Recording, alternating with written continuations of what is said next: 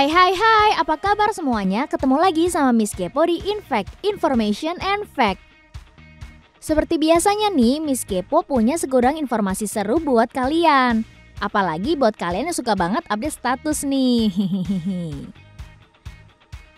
Sebelum Miss Kepo kasih tahu topik yang akan dibahas, Miss Kepo kasih clue dulu deh. Episode kali ini Miss Kepo akan ngebahas sesuatu yang semua orang pasti punya.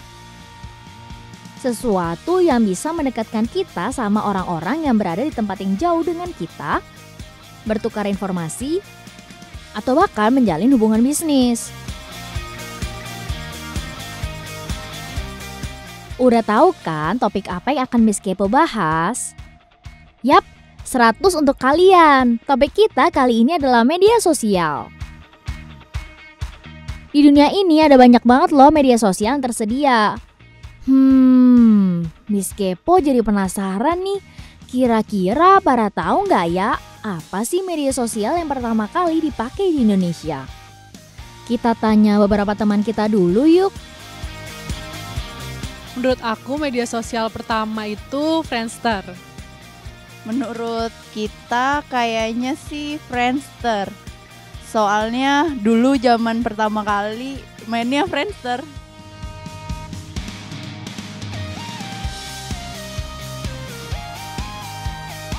Media sosial adalah media online yang berguna sebagai wadah bagi para penggunanya untuk berpartisipasi, berbagi, dan menciptakan isi dengan mudah. Para pengguna dari media sosial juga beragam loh smart viewers. Mereka datang dari tempat dan waktu yang berbeda, berkumpul menjadi satu di media sosial dengan tujuannya masing-masing. Sebelum kita bahas media sosial pertama di Indonesia, kita intip dulu yuk sejarah media sosial sampai saat ini.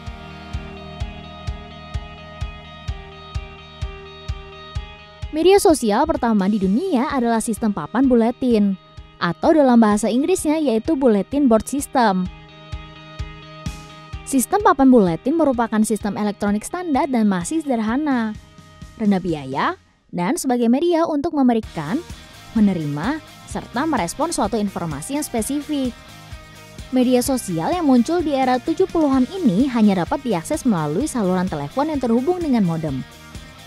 Sistem papan buletin ini beroperasi secara lokal dan sering terhubung dengan sistem papan buletin lain dalam skala nasional maupun internasional. Konsep dari sistem papan buletin ini mengacu pada cara orang terdahulu dalam bertukar pesan, yaitu dengan menempelkan pesannya pada papan buletin yang sering ditemukan di pintu masuk tempat umum.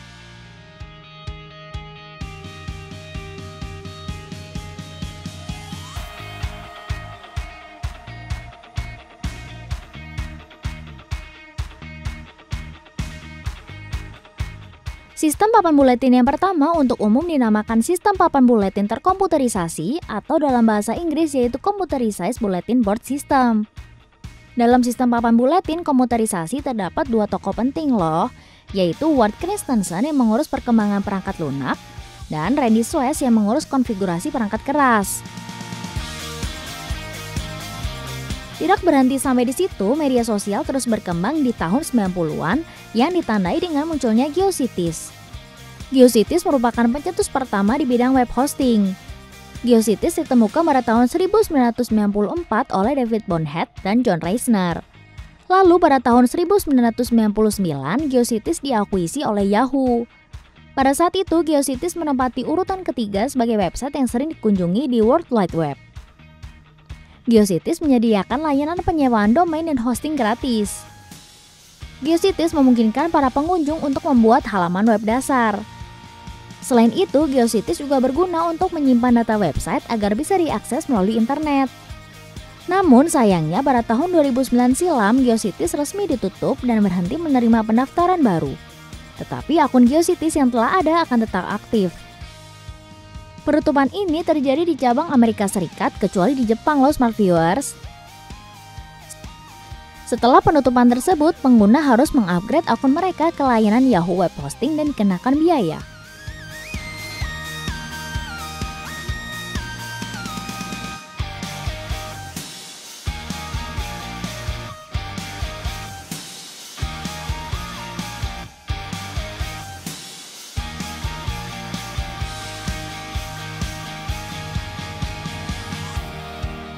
Perkembangan media sosial yang ada memunculkan gagasan mengenai jejaring sosial. Jejaring sosial adalah suatu struktur sosial yang saling berhubungan dan terbentuk dari individu atau organisasi yang terjalin karena memiliki satu atau lebih tipe relasi spesifik seperti nilai, visi, ide, atau yang lainnya. Jejaring sosial pertama muncul adalah classmate.com pada tahun 1995. Namun classmate.com dianggap kurang menawarkan situs jaring sosial. Maka dari itu, situs ini tidak dianggap sebagai jaring sosial yang pertama. Situs jaring sosial yang dianggap pertama adalah 6degree.com. Hal tersebut dikarenakan 6degree.com dianggap lebih menawarkan sebuah situs jaring sosial. Situs ini ditemukan oleh Andrew Wanrick dan dimiliki oleh Makerview. Situs ini memungkinkan pengguna untuk membuat profil, memiliki daftar teman, daftar keluarga, daftar kerabat, dan juga dapat mengundang orang lain untuk bergabung di situs sikdegree.com ini. Pengguna juga dapat mengirim pesan, menulis di papan buletin milik tiga teman pertamanya, dan melihat hubungan mereka dengan pengguna lain di situs ini. Sayangnya, situs ini hanya bertahan hingga tahun 2001.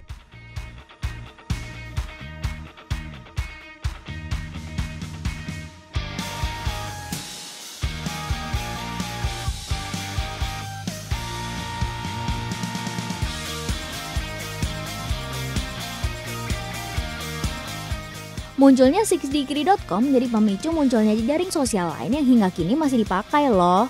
Yang pertama yaitu Blogger pada tahun 1999. Blogger adalah situs jaring sosial yang menyediakan tempat bagi pengguna untuk memiliki halaman situsnya sendiri. Beralih pada tahun 2002, jaring sosial yang baru ditemukan yakni Friendster. Kemudian di tahun 2003, LinkedIn ditemukan. Fungsi dari media sosial bertambah satu, yaitu untuk mencari pekerjaan setelah munculnya LinkedIn ini. Hal tersebut terjadi karena LinkedIn memungkinkan pengguna untuk mencari pekerjaan. Selanjutnya yang paling booming dan hingga sekarang masih banyak penggunanya di Indonesia maupun di luar negeri, yap, Facebook. Facebook didirikan pada tahun 2004. Dua tahun setelah lahirnya Facebook, muncul jaring sosial baru yaitu Twitter dan di tahun 2007 dunia jejaring sosial memiliki Wiser dan di 2011 muncul Google+. Dari semua media sosial tersebut, sebenarnya media sosial apa sih yang pertama kali dipakai di Indonesia? Jawabannya adalah Friendster. Friendster adalah jejaring sosial yang dirilis pada tahun 2002 dan didesain oleh programmer komputer bernama Jonathan Abrams. Friendster memiliki 115 juta pengguna yang mayoritas berasal dari Asia termasuk Indonesia. Friendster memiliki konsep yang mirip loh dengan Facebook. Para pengguna yang ingin memiliki akun harus mendaftarkan diri terlebih dahulu. Kemudian setelah itu mereka akan memiliki akun dan mereka dapat mengatur laman Friendsternya seperti mengubah foto profil atau mengubah wallpaper lamannya. Fitur-fitur yang ditawarkan oleh Friendster juga unik-unik loh. Ada fitur Who's Filled Me yang berguna untuk mengetahui siapa saja yang telah berkunjung ke laman Friendster kita. Kemudian fitur ini mungkin menjadi fitur yang favorit di kalangan anak muda ya smart viewers. tak hanya itu, fitur lain adalah testimoni dari teman-teman di laman profil kita. Pada masa itu dipercaya bahwa semakin banyak testimoni yang kita dapat, maka semakin tinggi popularitas kita loh. Fitur unik lainnya yaitu pengaturan urutan teman. Kita dapat mengatur teman-teman yang akan muncul di laman profil kita. Biasanya sih yang akan diurutkan sesuai dari yang terdekat. Pada tahun 2011, Friendster beralih menjadi situs permainan sosial dan menghapus semua akun di jaring sosial penggunanya. Namun para pengguna masih bisa login di situs Friendster, namun tidak untuk menjadi jejaring sosial, tapi menjadi media hiburan dan kesenangan. Friendster memiliki 50 game online yang dibagi menjadi beberapa genre berbeda loh smart viewers. Hmm. Fitur Friendster baru ini muncul demi menunjang fungsi barunya, yaitu fitur e-payment untuk membeli Friendster Coin yang digunakan untuk membeli peralatan game online tersebut. Namun, perubahan fungsi dari Friendster ini menyebabkan menurunnya pengguna secara drastis. Dan lambat laun kiprah Friendster terhenti sejak munculnya media sosial baru, terutama Facebook. Nah, itu dia media sosial yang pertama kali dipakai di Indonesia. Apa kalian juga pakai smart viewers? Miss Kepo masih punya informasi menarik lainnya nih yang pastinya masih seputar media sosial. Jadi jangan ke mana-mana ya.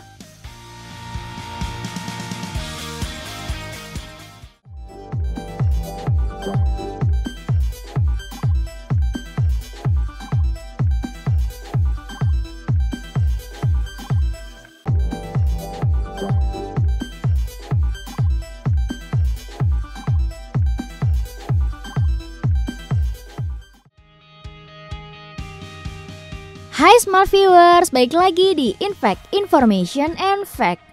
Nah, tadi kan Miss Kepo udah ngebahas tentang media sosial pertama yang muncul di Indonesia. Sekarang kita bahas media sosial yang paling banyak digunakan yuk.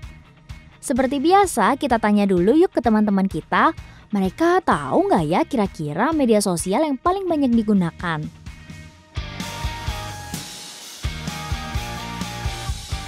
Kalau menurut kita sih Facebook ya, soalnya kan banyak orang yang udah tuh juga masih pada punya Facebook ya kan. Kalau kalian?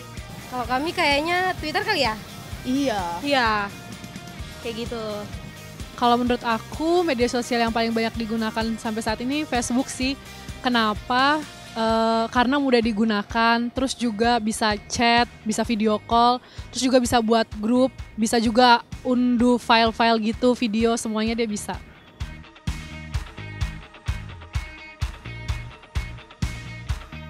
Di era globalisasi ini, informasi menjadi kebutuhan bagi semua orang.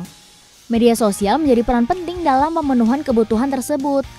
Maka dari itu, menurut VR Sosial Singapura yang dikutip dari teknikasia.com, saat ini terdapat 1,8 miliar pengguna aktif di media sosial seluruh dunia. Menurut data Januari 2017 oleh statista.com, Facebook adalah media sosial yang paling banyak digunakan dengan pengguna aktifnya sebesar 1.871 juta.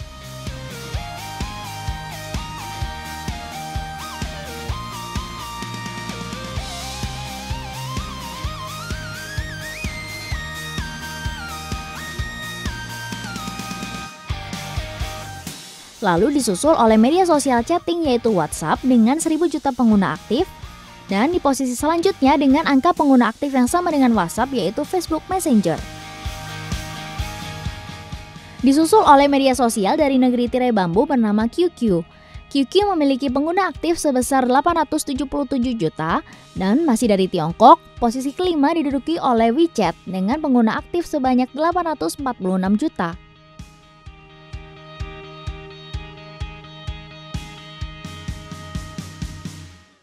Menurut VR Sosial, setidaknya ada 811 juta pengguna internet yang menggunakan media sosial. Asia dianggap sebagai pengguna Facebook tertinggi dibanding dengan benua lain dengan 229 juta pengguna. Di Asia, pengguna Facebook laki-laki lebih besar daripada perempuan dengan persentase laki-laki 58% dan perempuan 48%. Pengguna Facebook di Asia paling banyak berusia sekitar 18 hingga 24 tahun dengan persentase 41%.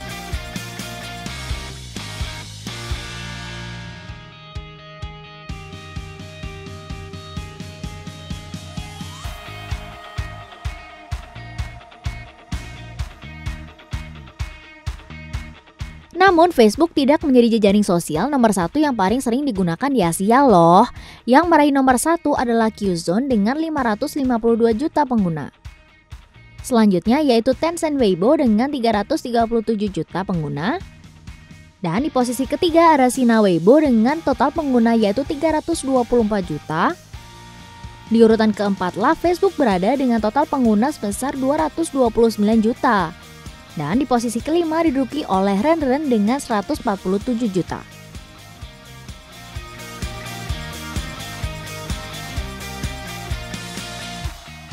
Sedangkan di Indonesia, menurut Asosiasi Penyelenggara Jasa Internet Indonesia atau APJI, media sosial yang sering dikunjungi adalah Facebook dengan 71,6 juta pengguna.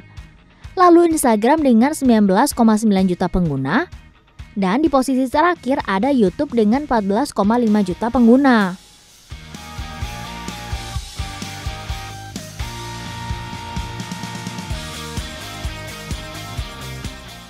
Itulah peringkat media sosial yang paling banyak digunakan, baik di dunia, di Asia maupun di Indonesia. Smart viewers pasti punya akun dari salah satu media sosial tersebut kan?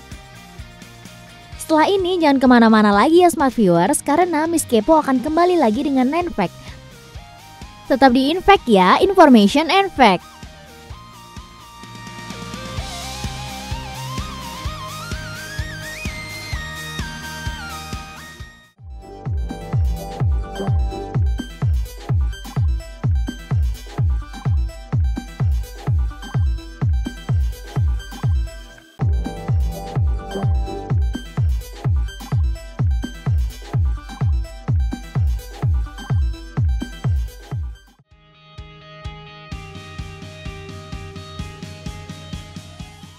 Hai hai hai, baik lagi nih bareng Miss Kepo di Infact, Information and Fact.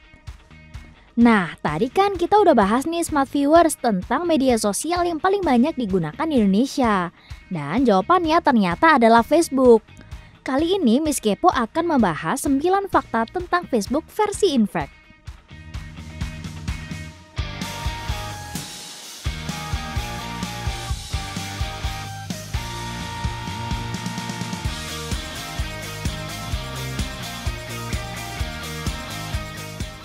Fakta menarik tentang Facebook yang pertama adalah media sosial yang hanya bisa diakses oleh murid-murid Universitas Harvard, tempat Mark Zuckerberg menuntut ilmu.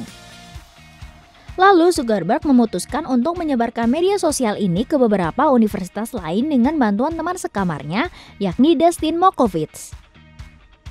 Yang lambat laun beliau kembangkan hingga mendunia seperti sekarang.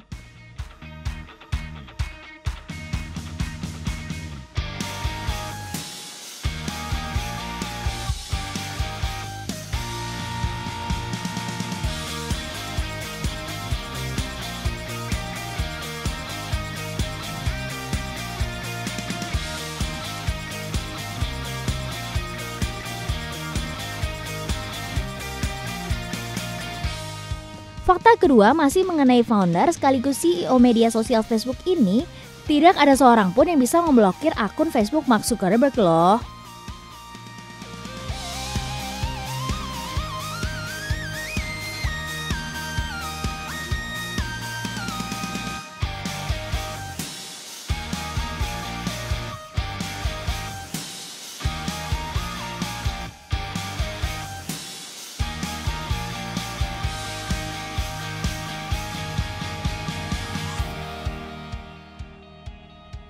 Smart viewers tahu nggak sih kenapa Facebook berwarna biru?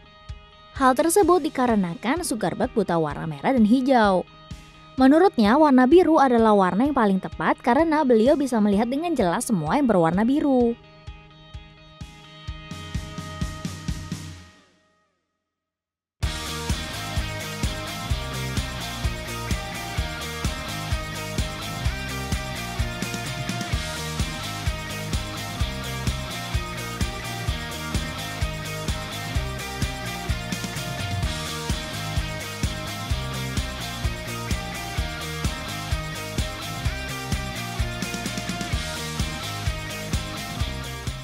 Kesuksesan Facebook di lingkup dunia membuat netizen penasaran bagaimana sih perjalanan Zuckerberg dalam merintis bisnisnya di Facebook. Film The Social Network yang dirilis pada tahun 2010 ini menjadi jawaban dari rasa penasaran. Film ini menceritakan perjalanan Mark Zuckerberg yang diperankan oleh Jesse Eisenberg dalam pembuatan Facebook.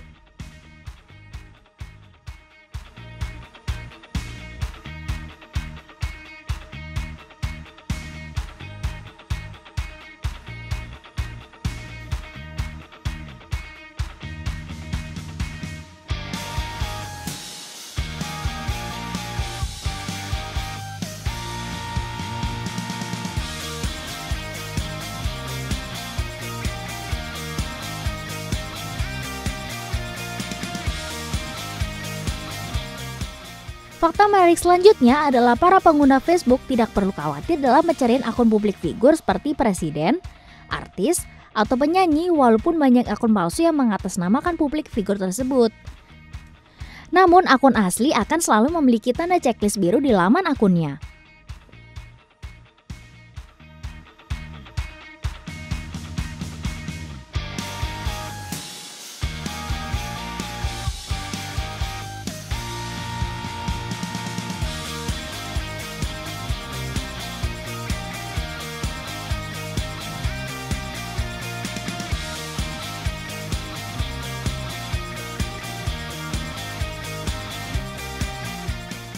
Smart viewers pernah ngecek kolom bahasa di Facebook nggak? Ayo dicek, karena ada pilihan bahasa Inggris bajak laut loh. Wah, Miss Kepo jadi penasaran nih. Ada yang pernah pakai bahasa itu nggak ya?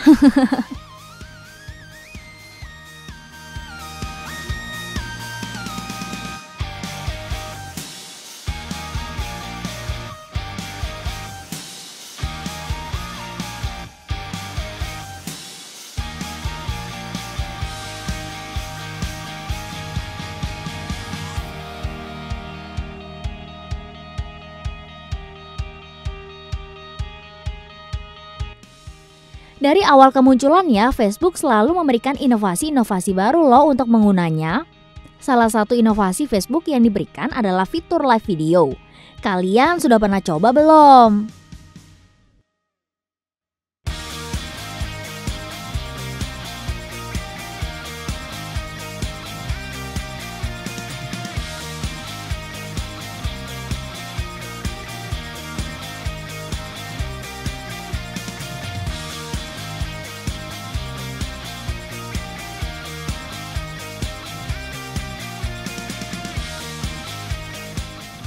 Fakta menarik mengenai Facebook datang dari dunia bisnis. Di zaman modern ini, tak sedikit perusahaan yang memanfaatkan media sosial untuk promosi, menjalin hubungan dengan perusahaan lain, atau menjalin hubungan dengan pembelinya. Facebook adalah salah satu media sosial yang mereka pakai. Bahkan menurut penelitian, Facebook merupakan media sosial yang paling digunakan perusahaan Asia dengan persentase sebesar 89%.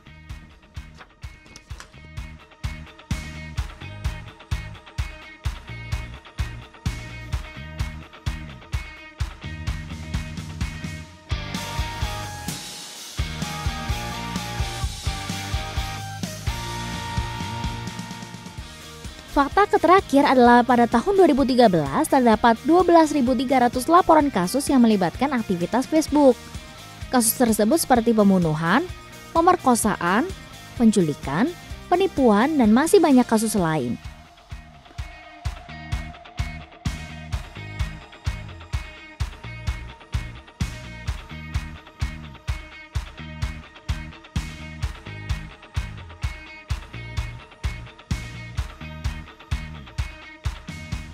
Serem banget ya smart viewers.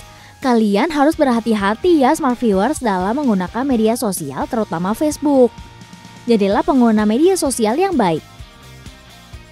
Dan itulah 9 fact mengenai Facebook yang menjadi akhir dari perjumpaan kita kali ini. Semoga informasi dan fakta-fakta yang Miss Kepo berikan berguna bagi teman-teman ya. Jangan lupa teman-teman saksikan terus Infect di hari dan jam yang sama. Miss Kepo pamit undur diri ya, sampai jumpa.